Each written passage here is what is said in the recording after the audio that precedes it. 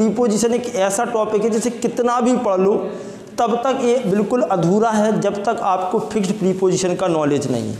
मतलब जितना मैंने आपको पढ़ाया चार पाँच छः दिन की क्लास में, उसमें से आपको मुश्किल से तीस परसेंट काम करेगा वो नॉलेज जबकि बहुत ही यूनिक पढ़ाया, बहुत शानदार पढ़ाया। और फिक्स्ड प्रीपोजिशन का रोल है कम से कम सत्तर परसेंट। यानी कि अगर हम फिक्स प्रीपोजिशन को नहीं पढ़ते तो हम प्रीपोजिशन के पार्ट को कभी बहुत अच्छे से सॉल्व नहीं कर सकते। और गलतियाँ इतनी कर देंगे क्योंकि फिक्स प्रीपोजिशन में होता क्या है? यहाँ लॉजिक काम नहीं करता, नियम काम नहीं करता और मीनिंग भी काम नहीं करेगा।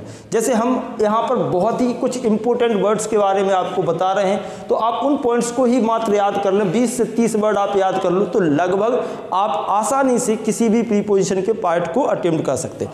प्रीपोजिशन टॉपिक का रोल किन किन टॉपिक्स में एक तो ओवरऑल ग्रामर में ही है। दूसरा, साथ ही साथ अगर हम गैप फिलिंग या कॉम्प्रीहेंशन जैसे पार्ट को करते हैं तो वहाँ पर भी प्रीपोजिशन का एक बहुत इंपॉर्टेंट रोल है। सबसे पहले शुरुआत करेंगे कुछ वर्ड्स से। जैसे हमने पहला वर्ड लिया यहाँ अबाइड तो आपको हमेशा अबाइड के साथ में प्रीपोजिशन लगाना बाय। अबाइड का मतलब क्या है? किसी चीज़ को फॉलो करना, यानी कि मानना। तो अवॉइड के साथ हमेशा प्रीपोजिशन क्या लगाते? बाय लगाते। अवॉइड बाय जैसे you should avoid by the rules you should avoid by the traffic rules आपको ट्रैफ़िक रूल्स का पालन करना चाहिए। ऐसे एक वर्ड है एडिक्टेड एडिक्टेड बहुत इंपॉर्टेंट वर्ड है। एडिक्टेड के साथ में टू आएगा। जैसे आप कह सकते हो ही इज़ एडिक्टेड टू अफीम he is addicted to church तो यहाँ एडिक्टेड का मतलब क्या होगा? आदि होना। किसी चीज़ का आदि होना या फिर किसी चीज़ की लत लग जाना। वो भी बुरी चीज़ों के लिए यूज़ होगा। तो एडिक्ट के साथ आप हमेशा प्रीपोजिशन कौन सा लगाओगे? टू लगाओगे ऐसे एक वर्ड आपने पढ़ा होगा अफ्रेड अफ्रेड का मतलब होता है डरना और अफ्रेड के साथ फिक्स प्रीपोजिशन है ऑफ़ अफ्रेड ऑफ़ आपने पढ़ा होगा तो अफ्रेड के साथ क्या लगाओगे? ऑफ़ जैसे he is afraid of dogs भाई, किससे डरता है? कुत्तों से डरता तो आप अफ्रेड के साथ ऑफ़ लगाएँगे। नेक्स्ट वर्ड है एक्यूज एक्यूज के साथ भी आपको ऑफ़ लगाना है। एक्यूज का मतलब होगा किसी चीज़ से आरोपित होना। एक्यूज के साथ भी प्रीपोजिशन क्या आएगा? ऑफ़ तो ध्यान रखें एक्यूज के साथ ऑफ़ अपरेट के साथ भी ऑफ़ ऐसे ही मैंने आपको एक और वर्ड पढ़ाया था डाय डाय का मतलब मरना, और यहाँ पर ध्यान देंगे डाय के साथ ऑफ़ लगाएँगे। अगर कोई व्यक्ति डिज़ीज़ बीमारी से पीड़ित होकर मरता है, और यहाँ फ्रॉम भी आएगा, अगर कोई व्यक्ति एनी अदर रीजन से मरता है, कोई अन्य रीजन से। जैसे मैंने आपको एक एग्ज़ाम्पल दिया था, जैसे यहाँ सुनो ही डाइड खालिस्तान कोलेरा तो आप लिखोगे ही डाइड ऑफ़ कोलेरा लेकिन अगर मैं लिख दूँ, रिया डाइड खालिस्तान स्ट्रेस तो आप लिखोगे रिया डाइड फ्रॉम स्ट्रेस इसी के साथ आपने एक वर्ड सुना होगा, बहुत प्यारा वर्ड है एग्री अगर एग्री का मतलब हम समझते हैं सहमत होना, अगर हम व्यक्ति से सहमत हैं, किससे? व्यक्ति से सहमत हैं तो एग्री के साथ विद आएगा, अगर आप पर्सन से सहमत हैं. लेकिन अगर आप एग्री के साथ में टू लगाओगे, कब? जब आप किसी के प्रपोजल से सहमत हैं, प्रस्ताव से. He is agree space proposal आ जाए तो लिखना he is agree to your proposal और अगर ये आ जाए I am agree space you तो I am agree with you ऐसे एक वर्ड आपने सुना होगा एंग्री बहुत अच्छा वर्ड है एंग्री का मतलब नाराज़ होना. अगर आप व्यक्ति से नाराज़ हैं तो विद इसी की तरह है पर्सन अगर आप एंग्री किसी के प्रस्ताव से नाराज़ हैं तो फिर वही कंसेप्ट टू प्रपोजल और इसमें एक चीज़ और ध्यान दें.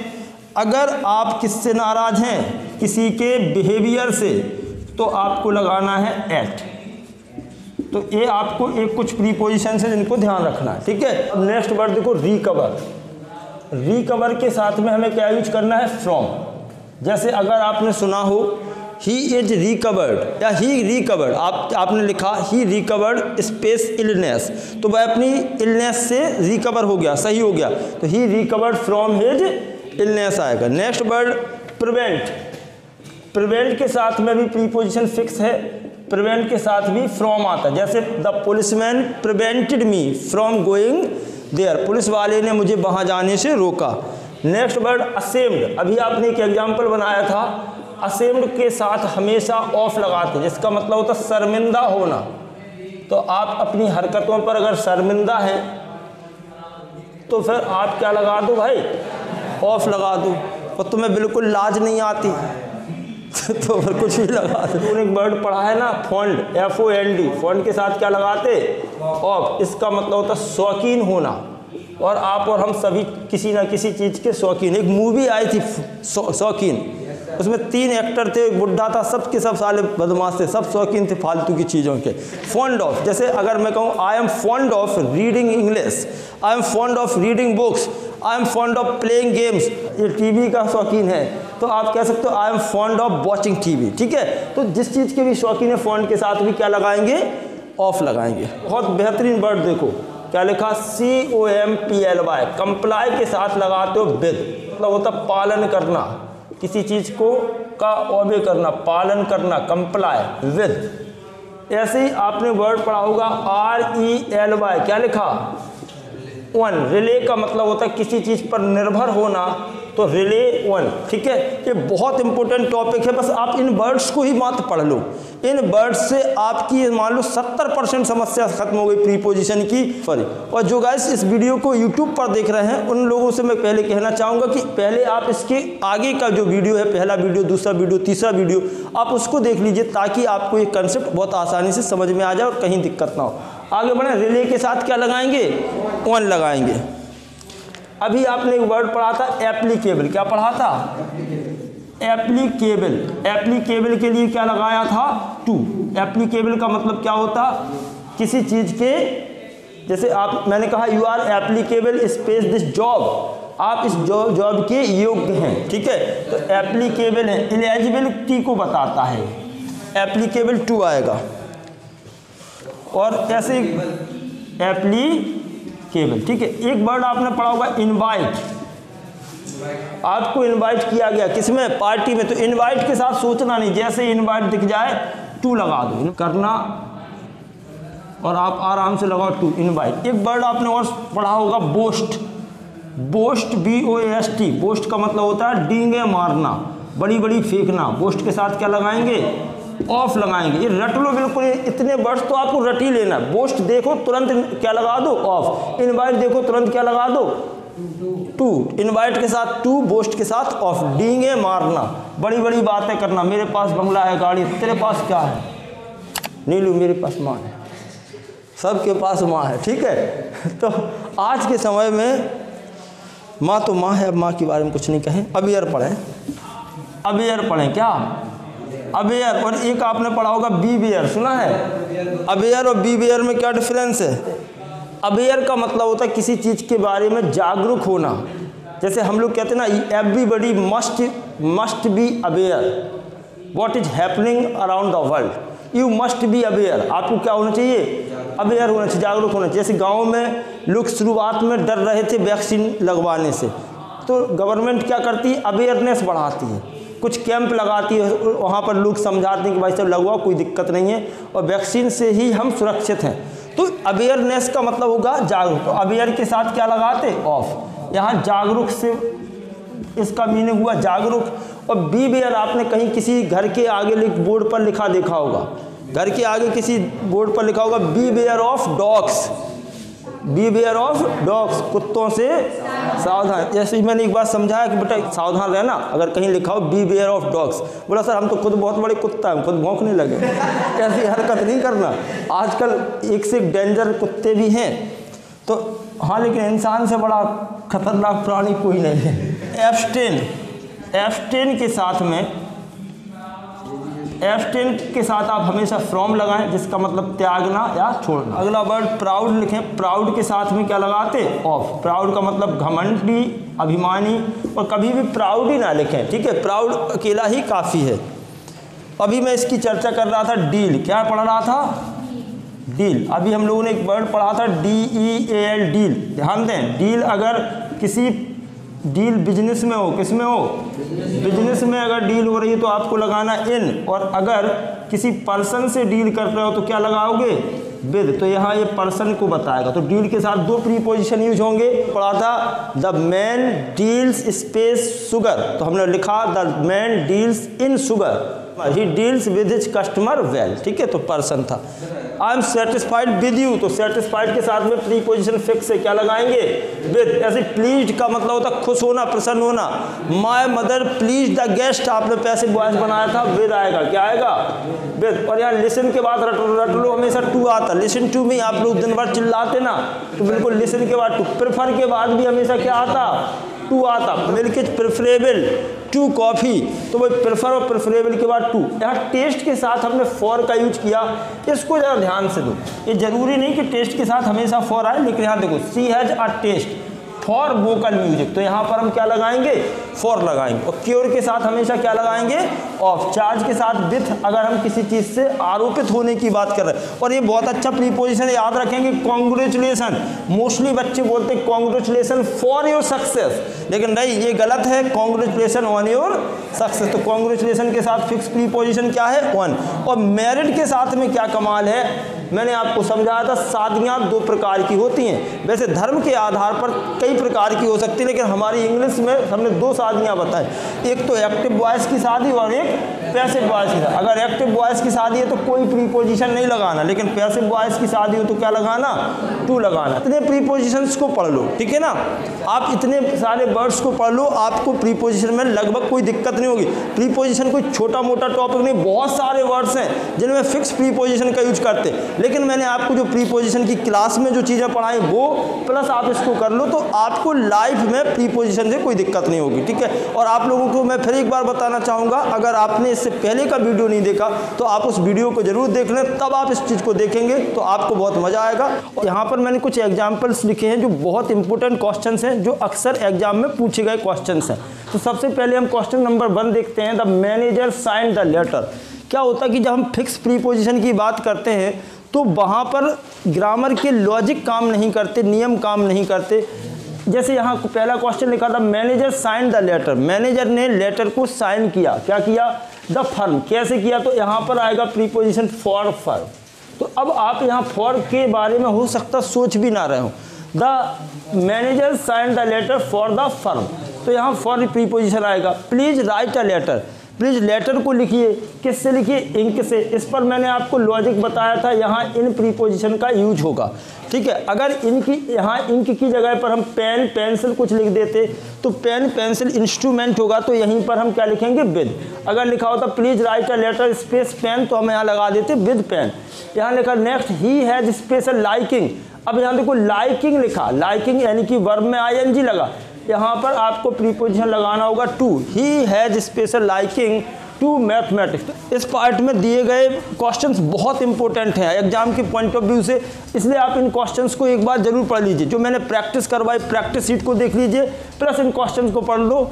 इससे एग्ज़ाम में बाहर जाने वाला नहीं है। पूरा पेपर यहीं से आ जाएगा। ही वॉज़ एडमिटेड तो आप यहाँ लिखेंगे टू आगरा कॉलेज यहाँ पर भी प्रीपोजिशन क्या आएगा?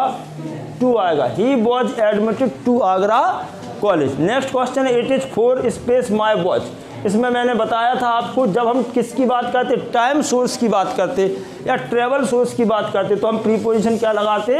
बाय लगाते। क्यों? क्यों? अगर आपसे कोई पूछता है what is the time time बताओ तो टाइम आप किससे बताओगे? घड़ी में देखकर ही तो बताओगे। तो ये केस को बताता टाइम सोर्स को। आर यू नॉट असेम्ड यहाँ फिक्स प्रीपोजिशन है। असेम्ड के बाद क्या लगाते? Of are you not ashamed of क्या लिखेंगे? Of it Rahul is weak अब यहाँ देखो लिखा है बीक क्या लिखा?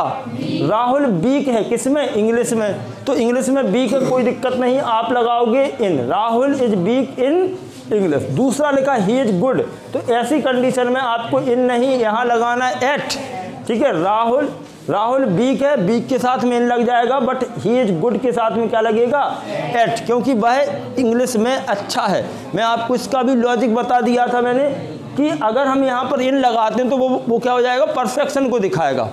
इसलिए यहाँ पर एट लगाओ। ही बेंच स्पेस लखनऊ तो कोई दिक्कत नहीं है। यहाँ बेंच आया तो हम टू लगाएँगे। क्या लगाओगे? ही बेंट टू लखनऊ और यहाँ ये ट्रेवल सोर्स को दिखा रहा, क्या लगाओगे? By car he has been charge इसमें हमने कई बार पढ़ लिया है चार्ज विथ थेफ्ट लगाएँगे। नेक्स्ट लिखा यू शुड लर्न आपको लर्न करनी चाहिए पोएम कैसे? हृदय से, दिल से तो by heart these rules are not applicable के साथ फिक्स प्रीपोजिशन क्या पढ़ा हम लोगों ने? To these rules are not applicable applicable to your case अगला, ये बहुत खतरनाक क्वेश्चन है, इसको ध्यान देना। आर्मी मार्चेज इसमें आप लोगों को पढ़ाया गया आर्मी मार्चेज वन इस पर ध्यान देंगे। और ये हाई स्कूल एग्जामिनेशन में बहुत पूछा गया क्वेश्चन है। Army marches on its stomach then he ran the race then he ran then he race दौड़ा, किसके लिए दौड़ा? फ़र्स्ट आने के लिए। तो क्या लिखोगे? For first I have bought a book मैंने बुक खरीदी। क्या खरीदी? ट्वेंटी रुपीज़ तो इसमें हमने फॉर के यूज़ में पढ़ाया था। अगर हम बात करें किसकी? ड्यूरेशन की रीजन की, या पर्पज की, या एक्सचेंज की। तो यहाँ एक्सचेंज ही तो हो रहा जब हम किसी चीज़ को खरीदेंगे या बेचेंगे तो खरीदेंगे तो पैसा देंगे और वो उसके बदले में हम सामान ले लें। तो यहाँ एक्सचेंज होने की वजह से हम यहाँ प्रीपोजिशन लगाएँगे फॉर क्या लगाएँगे? I have bought a book for twenty rupees यहाँ तक बोलो, एक से लेके फिफ्टीन तक किसी को कोई कन्फ्यूज़न कुछ पूछना है, कोई परेशानी, घबराहट, चिंता, दुख दर्द, कोई कष्ट है क्या? पैसन तो इसमें भी हम लोग पढ़ चुके हैं आई हैव पैसन क्या लगाना है? For science is true space bird bird के आपको मालूम है बर्ड के दो मीनिंग होते हैं।